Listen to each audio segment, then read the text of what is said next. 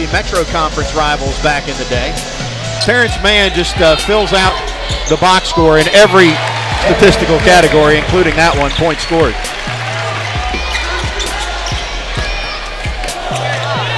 There's Ike Obiagu doing what he does best. He's a force in blocking shots. Uh, incredible shot block, has a natural feel. These shot blockers, um, big time shot blockers, guys who have a natural skill set. And if you're watching him, and he does every time they attack the rim, it's the Carolinas, the Syracuses, is there's just a certain culture they have. That was a deep, deep three. No need to find out if the bank is open. MJ again. Oh, and Doc Sadler. He's going, what is going on? Last year, Southern Miss came in here and PJ Savoy couldn't miss.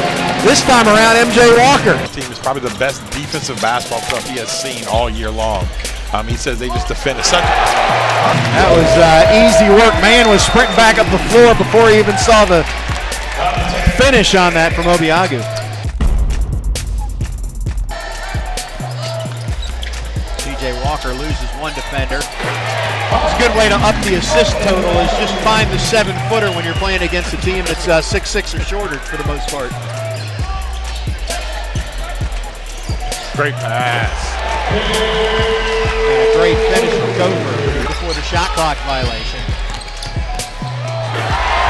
Angola and Cofer. That's good to see him go two for two at that trip.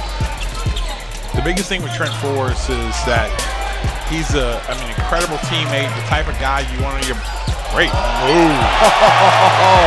Deep in his bag that time, Trent Forrest.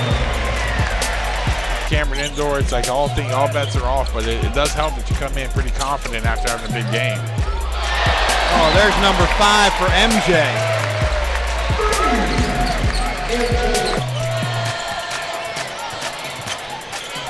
Good feed. Oh, how about that from Brandon Allen? At the bench over there, I think everybody's about to have a heart attack seeing Brian Allen do that.